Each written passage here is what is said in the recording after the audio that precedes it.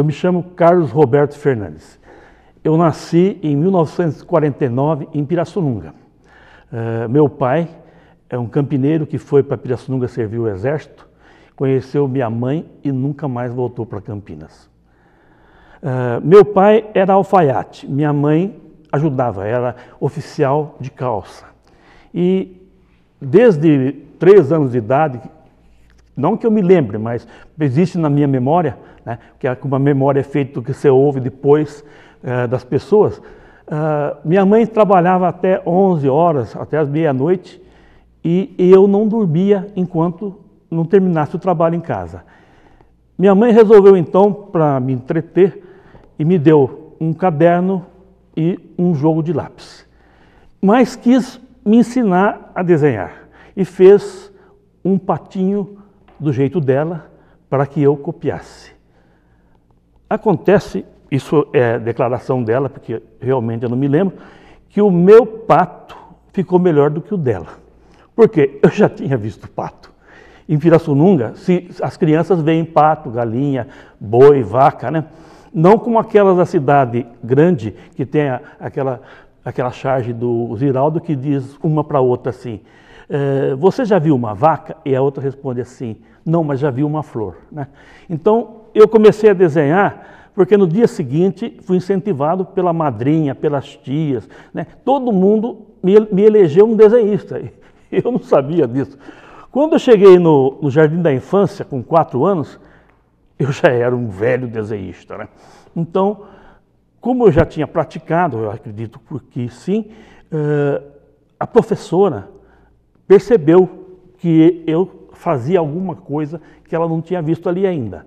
A professora era Dona Elza é, Esguerra Paganotti, que depois fiquei sabendo no futuro que era tia da minha, minha esposa, certo?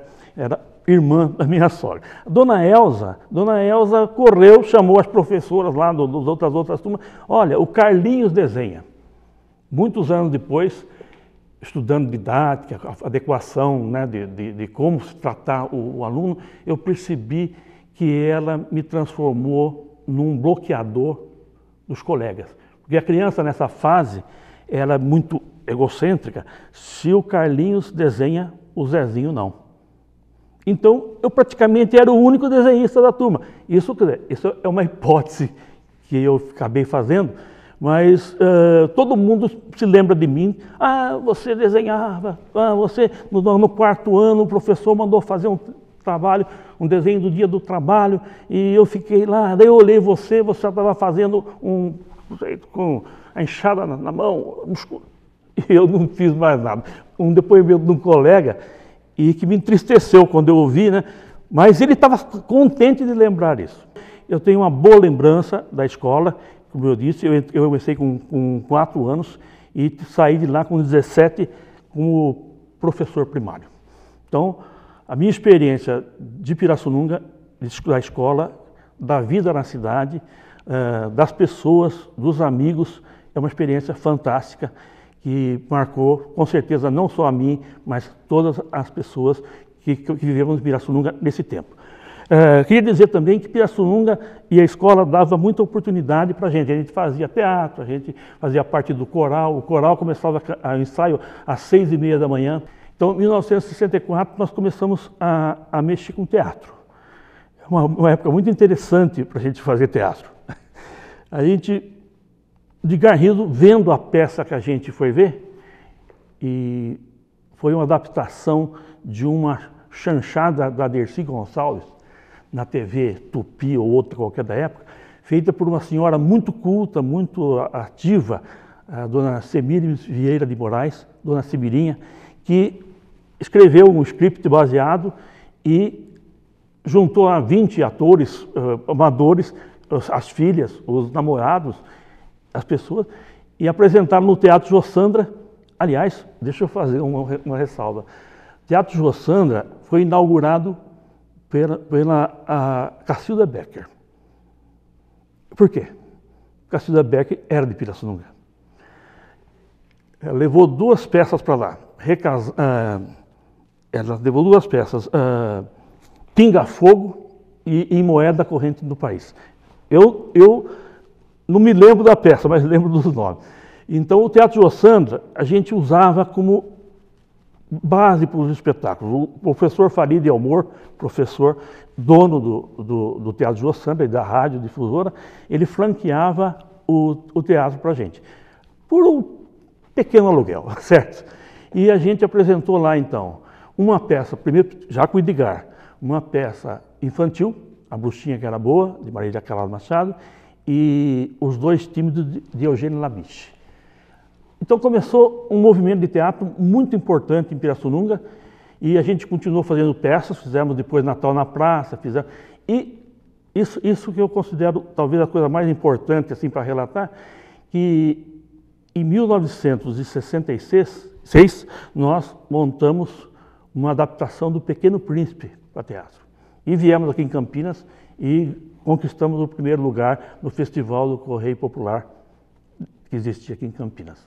Depois disso aí, cada um foi para o seu lugar, né? Uns vieram para Campinas, eu fui comecei a fazer a Faculdade de Artes Plásticas em Ribeirão, depois continuei em São Paulo, mais para frente, a Faculdade de Belas Artes. Mas daí eu já estava em São Paulo trabalhando já, que acontecia esse êxodo em Pirassununga. Quando a gente tinha 18, 19 anos, ia se estudar fora, trabalhar fora, e isso criava um, uma situação mais positiva para quem ficava. Havia menos competição, a cidade não crescia, mas vivia-se bem. Mas grande, a grande necessidade da, da, cidade, aliás, isso acontece com todas as cidades pequenas, é crescer. E o que a gente podia dizer, não, não cresce não, continua assim, tá bom. Todo, toda a cidade que cresceu, cresceram os problemas também. Em São Paulo, eu trabalhei como bancário, uma, uma péssima experiência que eu tive profissional. Trabalhei como técnico em contabilidade, porque junto com o normal que eu fiz no estudo de educação, eu fiz também a Escola Técnica de Comércio junto e saí técnico em contabilidade. Então, isso aí me, me, me garantiu um emprego na Companhia Telefônica Brasileira, que também não deu certo. Aí eu pensei, olha, não adianta competir nessa área. Eu vou sempre perder. Né? Bancário, contabilista, eu tenho que competir com desenho, que sempre disseram para mim que eu desenho, então eu, eu, acreditei. Eu acho que é um ponto que eu tenho que, uh, pelo menos, tentar. Se conseguir um emprego com desenho, eu continuo em São Paulo. Eu impus isso. Ou então, eu volto para Pirassununga, também tenho o direito de morar lá, né? E não estou condenado a morar em São Paulo. Aí comecei a procurar e quem procura acha. Né? Acabei achando a oportunidade de trabalhar no SENAC com desenho. E fui indicado para esse, esse cargo pelo porteiro do condomínio Visconde de Cairu, na rua Doutor Vila Nova, que viu os trabalhos e falou assim, por que, que você não dá aula no SENAC? Eu falei, eu estou procurando outra coisa, eu estou procurando informação do SESC e me fala em SENAC. E Fui na, na esquina da Major Sertório, eu falei, pera, eu estou discriminando o porteiro. Ele falou, ele teve um motivo. Voltei e falei, o que, que é isso que você me falou aí?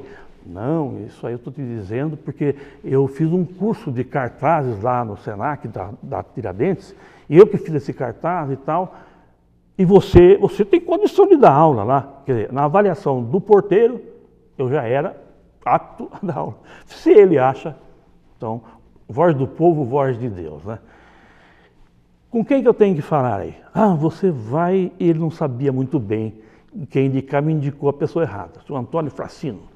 E cheguei lá, eu queria saber sobre um curso tal, eu gostaria de fazer um concurso, uma, uma seleção. Não é comigo não, mas eu vou te levar com quem é. Inexplicavelmente, esse senhor Antônio Fracino, que eu conheci bem depois, me leva para a sala de outro e fala, olha, está interessado em dar aula no curso de cartazismo lá. Me apresenta para um quem resolvia. Eu não sabia, mas fiquei sabendo depois.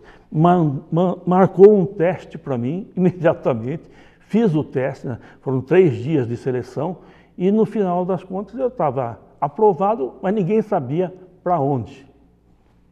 Acabei, por indicação desse senhor chamado Mamante Torres, Não, você não começou ainda não. Vá lá na Tiradentes. Eu fui e comecei lá e fiquei 15 anos no Senac como professor de desenho de propaganda na área de comunicação. Uh, o Senac é uma entidade muito organizada, muito bem administrada e que investe muito na qualidade do seu serviço. Então, eu só saí do Senac porque eu já tinha chegado na, a uma, uma, uma fase da vida, eu tinha 35 anos, e eu resolvi trabalhar por conta própria, montar um estúdio, e foi o que eu fiz. Mas no fim o Senac virou meu cliente, não teve jeito. Eu passei a executar trabalhos para o Senac e continuamos, e até, hoje eu tenho um contato muito positivo com o Senac. Eu faço parte do grupo de aposentados do Senac, a gente se reúne várias vezes por ano para almoçar, para contar histórias. Né? Do Senac de São Paulo me transferi para Campinas, né? É, eu estou chegando agora no, no, numa outra fase e, e aí quando eu saí do Senac, aqui em Campinas, eu montei um estúdio e trabalhei esses anos seguintes até ser convidado para dar uma aula na, na, na, disciplina de um amigo, que era professor de estudo de artes, o Fred Van Camp, professor de design, designer, uh, diretor da Escola Superior de Desenho Industrial, depois no Rio de Janeiro, duas vezes, grande amigo, grande profissional, Fred Van Camp. E, dando essa aula aí, eu entrei em contato com a Unicamp. Né? E, Meses depois, a Unicamp, no caso o Estudo de Artes, estava abrindo uma seleção para professor. E eu fui convidado a participar dessa seleção. Fomos contratados depois da seleção, eu, o Wilson Antônio Nazarete, que é o UOL do desenho animado, Lígia Arcuri, que está até hoje lá, professora titular, e comecei uma nova vida, uma nova vida profissional, ou pelo menos no, uh, numa outra instituição, e aí eu já estava com 40 anos, né? Com a experiência do SENAC, com a experiência do mercado, né? e vim contratado justamente para a disciplina desenho de propaganda, e era coisa difícil na época de achar alguém que pudesse dar aula de desenho de propaganda, não existiam esses cursos, eu estou falando de 27, 27 anos atrás. Né? Então, uh, o ramo de, de, design e tal era muito assim, é, iniciante, e desenho publicitário, não existia as escolas ainda, e por esse motivo, e como uma, a vaga que existia era de RDIDP, que eu não sabia o que, que era, e fiquei sabendo que era RDIDP, eu me baseava no, no regime do, do, meu amigo Fred, que era RTP. O nosso público sabe o que, é isso. Não era nem RTC, RTP. É, então, ele trabalhava um regime mínimo de horas, né, o menor regime de horas. E eu pensei que ia ser assim. Quando eu fiquei sabendo que era RDIDP, bom, eu tinha que fazer uma opção, né? E então eu deixei meu estúdio, onde eu ganhava dinheiro, ganhava, e falei, mas o estúdio, o mercado não é o meu habitat. A universidade é uma escola, né? E então eu fiz, eu acho que eu fiz uma boa opção, né? depois de todo esse tempo de já aposentado, posso dizer isso, é, porque a universidade apareceu para mim como um espaço novo, um espaço democrático, cheio de problemas, mas todo mundo querendo resolver.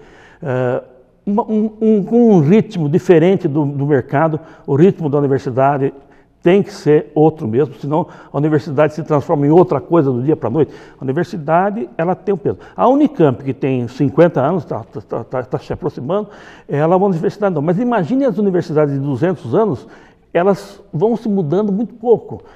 A Unicamp tem mudado muito no sentido de, da qualidade, hoje, da qualidade do, do quadro docente, dos alunos, dos funcionários, isso é ótimo. Uh, mas aquela ideia de transformar as coisas do jeito que se imagina, isso existe uma dificuldade. E isso é positivo.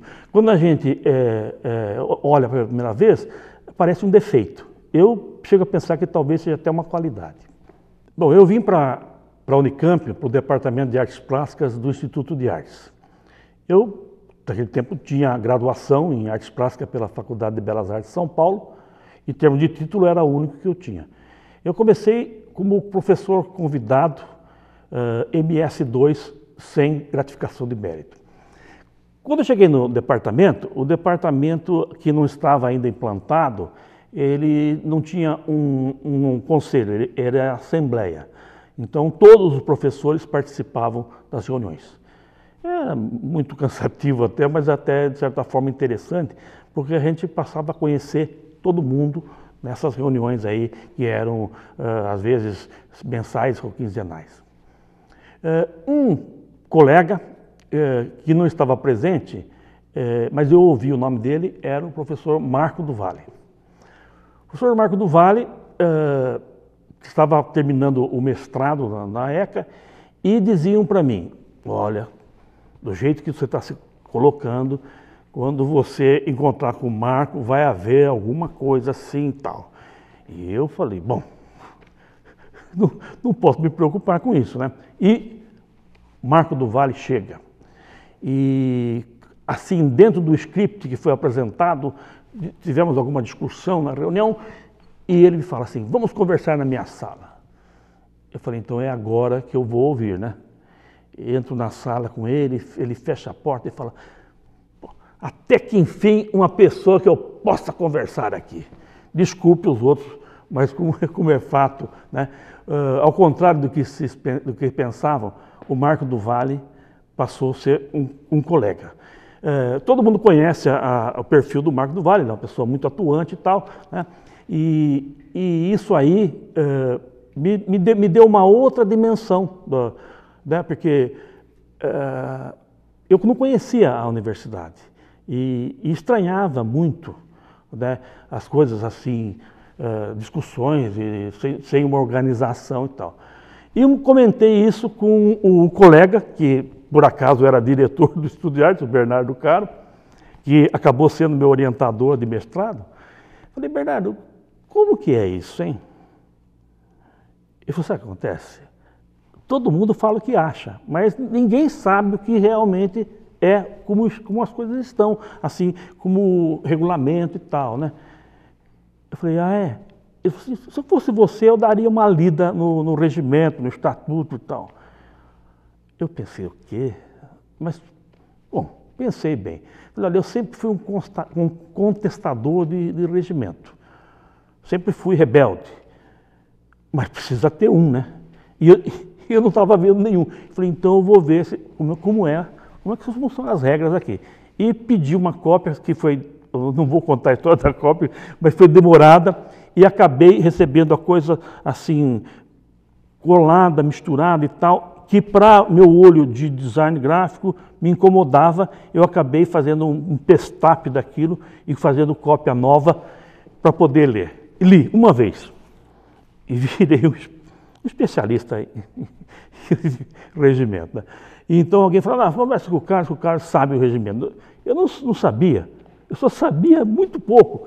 Mas, como tinha uma cópia, qualquer dúvida a gente olhava lá. E fiz três cópias, uma para mim, uma para o departamento e uma dei para a direção. Então, esse começo aí me incomodava muito, porque alguns colegas, por, por acaso ou até por maldade, o Carlos é o nosso especialista em regimento o que me incomodava muito. Né? Mas tudo bem, isso acontece. Uh, o departamento, nós tínhamos uh, muitas disciplinas e todas eram obrigatórias. Um, quando nós chegamos à coordenação, aliás, chegamos eu e o Marco, o Marco foi coordenador, eu era coordenador associado, nós fizemos uma, uma demos uma enxugada no curso. Foi, era o grande trabalho nosso. Depois foi criticado tal, uh, mas nós achávamos o seguinte, se o aluno tem o direito de fazer um curso de graduação com uma carga horária X, nós podemos oferecer isso e o direito dele sair com essa carga horária mínima. E ofertamos o resto para eles fazerem se quiserem. Isso, na minha, na minha uh, ideia, na nossa concepção, foi uma melhora do curso. Outros acharam que foi uma piora. Mas depois, já tinha passado 10 anos eu no departamento, e eu acabei indo para não deixando de ser professor, mas indo para a administração da universidade, quando o professor Hermano Tavares me convidou, e outros, outros amigos da época, colegas, para a instalação de uma coordenadoria que abrangeria a antiga PEU e o escritório de ação cultural. Fizemos um trabalho, esse trabalho já então em 98, começando em 98 e adentrando 99. A coordenadoria ela foi legalizada, ela foi constituída mesmo no ano de 99 com o nome de Coordenadoria de Desenvolvimento Cultural. Né? Em substituição, então, a APEU e o EAC, Escritório de Ação Cultural. E eu fiquei por, por alguns anos ali. Fiquei o, da gestão do Hermano, na gestão do professor Bito, né? e, e depois saí da, da gestão do professor Tadeu para fazer um trabalho específico uh, em 2006, que, se, que foi o, o ano 40. O ano 40 foi um projeto que a gente desenvolveu junto com uma comissão e tal, mas a, a, ideia, a ideia era essa. Em vez de fazer uma comemoração de 40 anos, vamos pegar. Quando saímos do 39 começou o, o 40. Esse é o ano 40. E a ideia foi muito bem, bem, bem aceita e nós tivemos uma felicidade de organizar um, um, uma série de eventos, né? E, e eu, eu, eu, fui coordenador dessa comissão. Devo dizer que fui o, o, autor do, do, logo do ano 40, né? E a gente fez uma programação, uma participação da universidade toda, um grupo de trabalho grande que tinha mais de 30 pessoas representando as unidades. E então, o, o ano 40, eu tenho muitas boas recordações dele. Né? É, então, esse, esses, esses eventos aconteceram durante o ano todo e nós estamos tendo, agora, dez anos depois, o ano 50. Eu recebi uma ligação do professor Tadeu perguntando se eu gostaria de fazer o logotipo do, do ano 50. E eu perguntei, mas essa, esse condicional, por quê? Não, porque você está aposentado. Ele me disse, né? falei, não, tudo bem, eu com o maior gosto, se tiver uma proposta, eu apresento. E apresentei, foi, foi aprovado pelo grupo, né? E, e, lançamos no começo de, de março, já então há um ano atrás, né? Uma, lançamos, fizemos uma, uma cerimônia na, no Consul, muito agradável, né? É, é, eu, eu, eu, eu apresentei a ideia, apresentei o projeto e tal, e começamos a, o uso dele. Fizemos o. Eu esqueci de falar uma coisa interessante aí, é, mas, mas me lembrei. Nós temos um arco na entrada. Aquele arco é projeto meu e é a execução do Joaquim Antunes Barbosa, esse funcionário que trabalhou comigo na coordenadoria, continua trabalhando aí com a reitoria. É um funcionário muito habilidoso, um técnico né, de trabalha com serralheria, madeira, eh, revestimentos. Então, o primeiro, o primeiro, o primeiro arco aconteceu por acaso.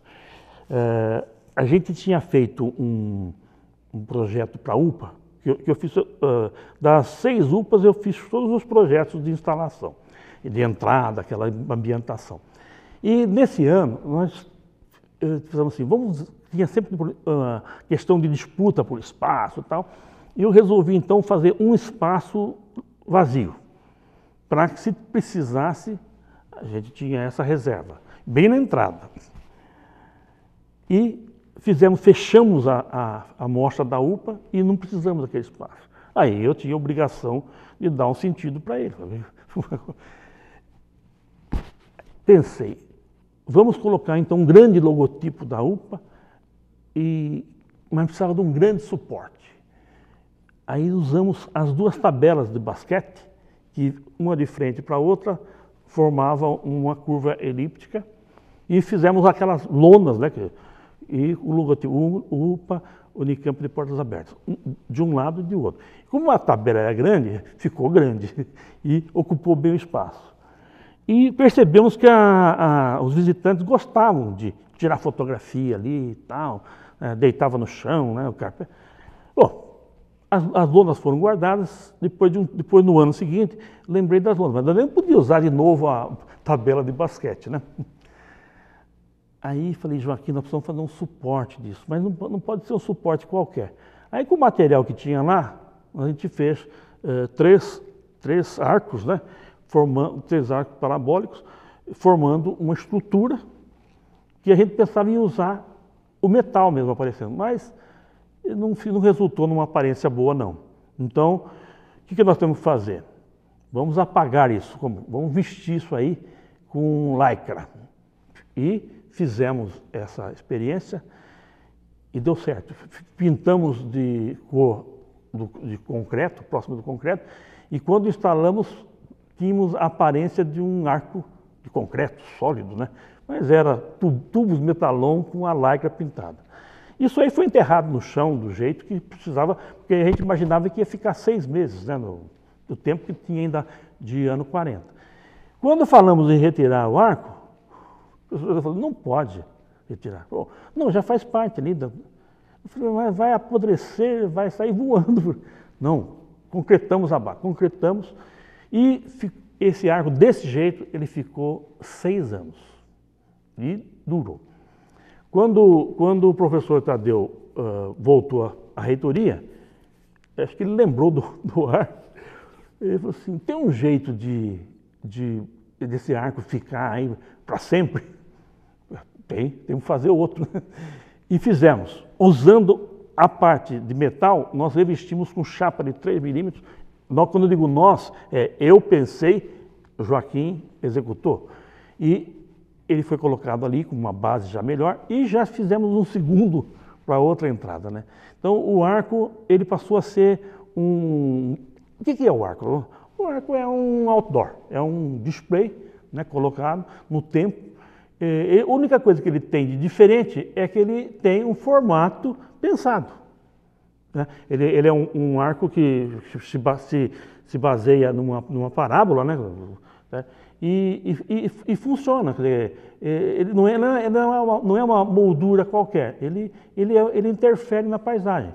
E às vezes ele fica sem nada e ele está lá, ele, ele, ele continua tendo a sua aparência interessante. Isso é conversa de coruja, né? Certo? Bom, uh, o processo da criação de um logo. Uh, esse, o, o, ano 50, foi pensado, vou tentar rememorar isso, pensado assim, quais serão os, os caracteres, uh, os elementos gráficos que, de, de, de fala, né? Ano 50. Aí pensamos assim, bom, o, o ano é apenas para ter uma marcação. O importante é os, os, são os números 5 e 0, que tem uma característica própria, tal, tal. Então, nós precisamos de um fundo, nós precisamos de um, de um suporte. Um suporte, no caso, como fundo mesmo, não como o papel. Aí, então, influências que eu não posso nem imaginar, eu optei e tenho optado muito pela elipse. Né? O, o, logo da UPA é uma elipse. Então, ele, ele é da família. Então, o que, que eu fiz então? Eu vou pensar um jeito de, usando uma elipse, e escrever esses 5 e esse 0 com as características mesmo da, da, da UPA, que, que é ultrapassar o próprio fundo. Quer dizer, isso eu estou dizendo, é, eu estou fazendo literatura, né? mas é o que eu, eu, eu, tendo que contar a história, eu conto assim. Então, agora, e a cor? Bom, 50 anos é um jubileu de ouro, mas a não ser em assim, num, num, num broche, numa, num, num pin, não ficaria bem, ficaria muito assim, muita ostentação fazer um logo. Então, eu optei pelas cores do Estado. Dizem que não, que é uma, tem uma coisa a ver com um time de futebol, mas não, são as cores Estado, vermelho e preto. Porque vermelho e preto, assim, falando de cor, e eu tenho um compromisso com cor, que o meu mestrado é sobre cor, né? eu, eu, eu, eu trabalhei com classificação de primárias, secundárias e tal.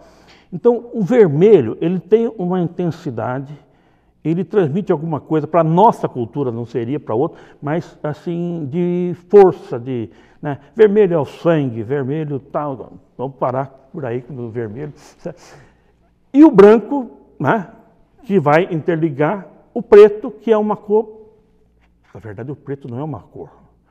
Na verdade, o preto é a ausência de cor. Enquanto o branco também não é uma cor. O branco é a emissão de todas as cores, todos os raios luminosos. Então, na verdade, nós temos uma cor só, vermelho, mas dito de uma maneira popular, preto e branco. quando, quando, quando eu pensei isso, eu pensei e a, as ideias, elas não têm uma forma definida. Nós dizemos em criação de publicidade que você tem que ter a ideia. A ideia é representar aquela lâmpadazinha assim que acende, né? Mas essa lâmpadazinha que acende é uma lâmpada mesmo que acende. É uma coisa que ilumina. Na verdade, ela é um insight. O que é um insight? O insight, né, para Gestalt, que é a corrente de psicologia que se contrapõe à psicologia convencional, é a percepção do todo. A percepção imediata de uma coisa é uma coisa, outra coisa, outra coisa. Né? É, como dizia o hermano, uma sacada. Então, nesse trabalho especificamente, eu abandonei a fase de, de RAF, que seria os esboços.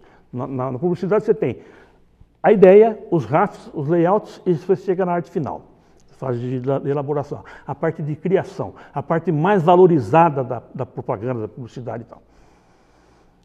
Então eu optei assim, fiquei pensando nisso e pensei sem, pela primeira vez, sem grafar?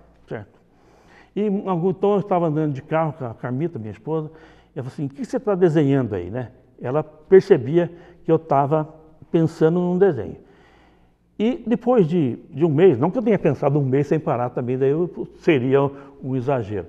Mas depois de um período, né, de jogar nas coisas lá, tem uma hora então que esse insight aparece.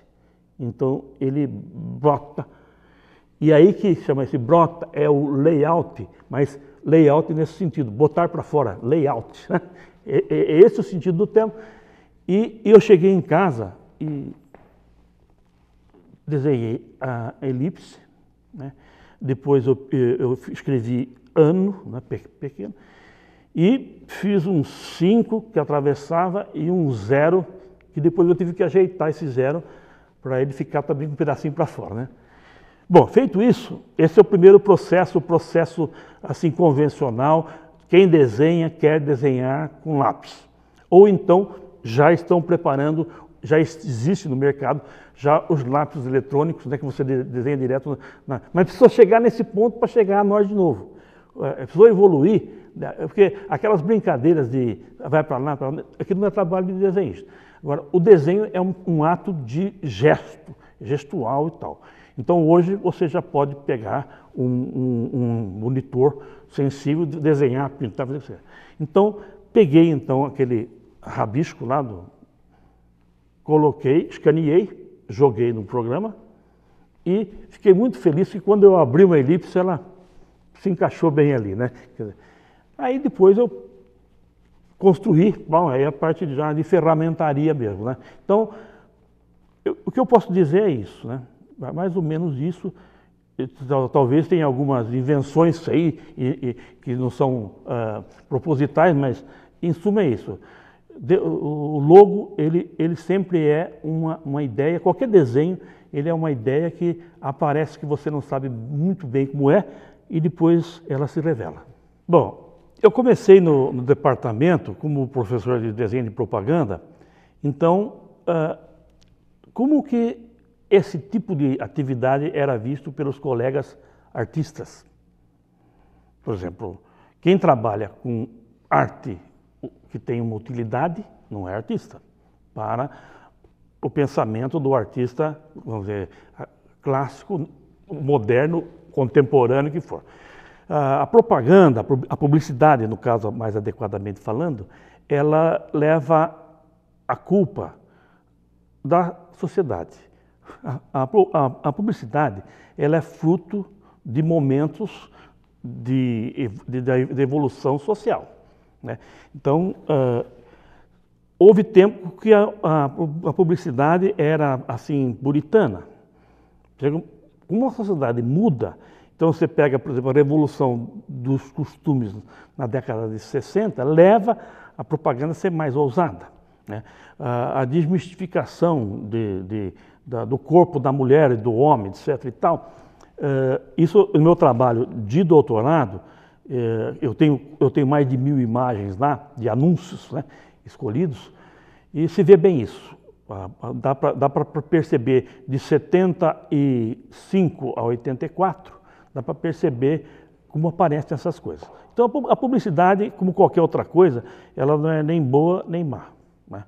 É, ela depende de quem está falando. Se você tem um propósito uh, positivo, ela vai ser positiva. Se você, tá, se você, está uh, comungando um, um, um, um ideal, ela é positiva. Se você faz uma campanha X, Y ou Z, ela vai ser para lá ou para cá.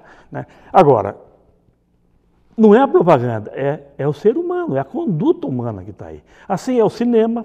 Agora, para o pensamento assim, vamos dizer, muito radical de, de arte, é, diria colegas assim, que arte tem que ser inútil. Sim, esse, Existe essa situação na arte. E outro diria assim: uh, criança e índio e louco não, faz, não produz arte, não produzem artes. Isso é uma, uma, coisa que a gente ouve, eu ouvi. Né? E outro diz assim: ah, você é lá da, das artes gráficas. Então, ora, vejam bem, se a gente pensar um pouquinho no tempo, Michelangelo, ele era das artes manuais, porque a sociedade da época não considerava uma pintura ou uma escultura como arte, como arte maior, porque era feito com a mão. Não, tudo é feito com o cérebro. Então a pessoa fala assim: ah, fulano tem uma boa mão. Não, não tem uma boa mão, ele tem um bom cérebro, porque a mão é a parte ferramental do homem. Né? O conceito, as ideias tal, nascem na, na cabeça, no, no cérebro. Então, Michelangelo, só para citar, eu também estudei um pouco de história da arte, Michelangelo é o primeiro artista a assinar uma obra. Por quê? As obras não, muitas vezes não eram nem de autor, eram de coletivos, né? de, os aprendizes. Né? Os, então, Michelangelo, quando ele começa a pintar a Capela de Sistina, diz a lenda, ele tinha um monte de, de ajudante, tinha um especialista em cor da pele, especialista em drapejamento, em, em sombra, em claro, escuro. E ele fazia o geral lá, né? Ele fazia como o maestro faz na orquestra, os outros que tocam, ele rege, né? Quando ele abandona e volta para o trabalho, ele volta dizendo, eu vou fazer sozinho. Ele, ele teve essa, essa percepção. Não, para ser valorizado, tem que fazer tudo sozinho.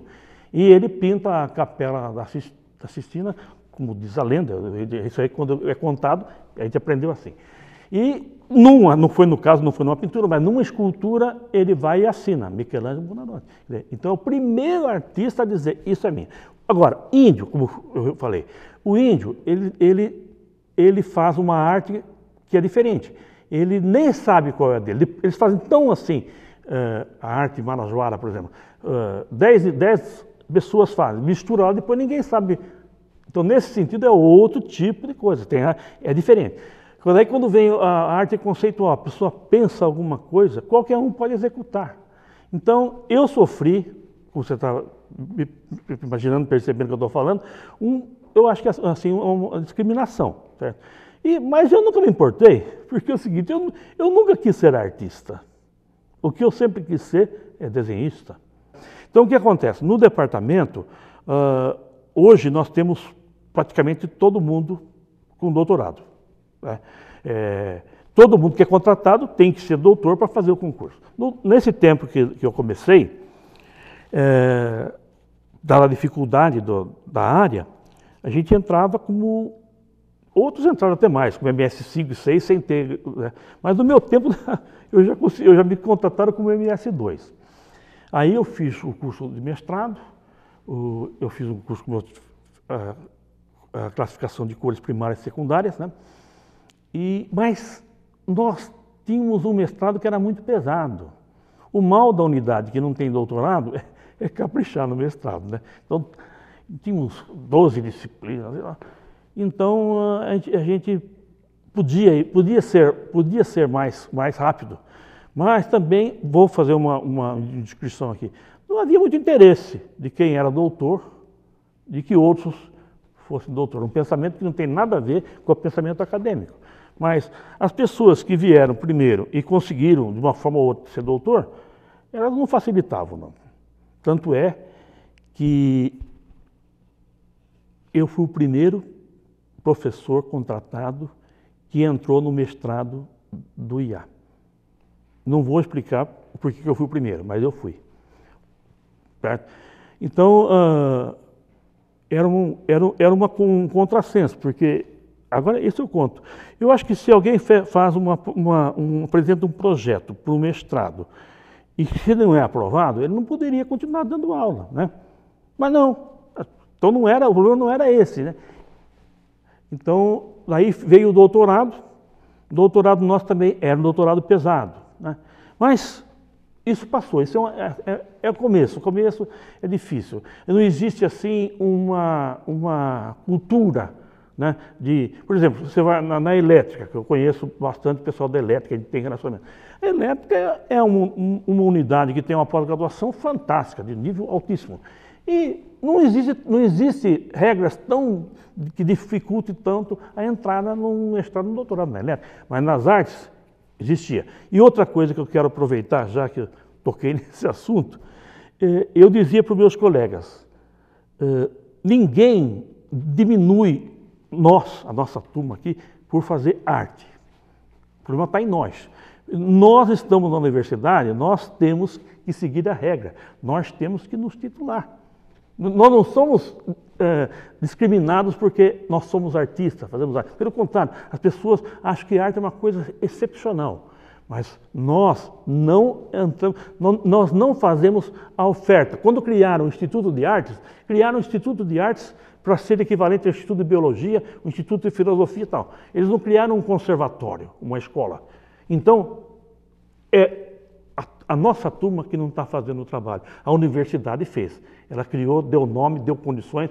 Certo? Agora, tem dificuldade, tem questão, vai fazer doutorado na, na, na Europa tal. Já não, era, já não era o tempo mais. Um pouco antes, as pessoas iam, né? iam para a França tal. Mas, no fim, as coisas caminharam e nós chegamos, eu acho que hoje não existe mais isso, eu estou contando já coisa da. Né? E, o que, e pensando nisso aí, coisa de antigamente, me ocorre o seguinte. É, quando eu entrei aqui há 27 anos, a maioria, para não dizer quase a totalidade dos alunos que estão hoje nos cursos de graduação e de pós-graduação, não tinham nascido há 27 anos atrás. Então eu poderia dizer que nós éramos da pré-história deles. Né? E se pensar que, como eu disse, eu cheguei aqui com 40, então eu sou do período mesolítico, paleolítico, né? Então isso é uma coisa interessantíssima. E isso que a universidade tem de bom. Você, o professor, ele convive com o melhor dos jovens, né? Então uh, a gente demora um pouquinho mais para envelhecer, mas envelhece, não tem jeito. O tempo é inexorável, né? Conheci Carmita em Pirassununga, uh, crescemos juntos lá, apesar de distantes, dado a idade, diferença de idade. Mas nós namoramos há 48 anos e estamos casados há 41. Uh, eh, moramos em São Paulo, viemos para Campinas e viajávamos toda semana para Pirassununga. Né? Mantivemos uma ligação com a cidade por um bom tempo. Aí nasceram os filhos e a gente começa a diminuir tal. Uh, o Daniel tem 36 anos, trabalha na IBM e a Bruna tem 32, é designer da Tetra Pak. A nossa família se, se reúne sempre e eu tenho uma ideia que o bom, bom jeito de se reunir é no domingo almoçando. Então, a maioria dos domingos a gente se reúne em casa. Né? Um dia eu comentei com a Carmita, Carmita, chegamos no futuro. E ela me respondeu, sim, estamos velhos. A questão de, de, de ficar velho, é, hoje parece que não se deve ficar velho. Porque se você falar, eu sou velho, fala, não, você não é velho. Quer dizer, parece que existe uma necessidade de se manter jovem. Ora, Uh, há 50 anos, estatisticamente, eu já estaria morto pela, né, pela média de, de, longevidade. Então, eu estou pensando nisso aí, pensando nos 50 anos da Unicamp. Uh, quando a Unicamp começou, eu tinha uh, ah, 16 anos. Né? Então, veja bem, a Unicamp é mais nova do que eu. E, no entanto, ela acumulou tanta coisa, tanto conhecimento, tantas pessoas, milhares. Né? Se contar tudo, tá, temos, ah, outro dia eu fiquei sabendo que um, um amigo né, foi uh, o primeira, a primeira tese da elétrica, o professor Celso Botura, amigo nosso, frequentador do nosso cineclube. Foi a primeira tese da elétrica. A elétrica chegou na milésima e já está na milésima e tanto. Né? Então, o tempo é relativo.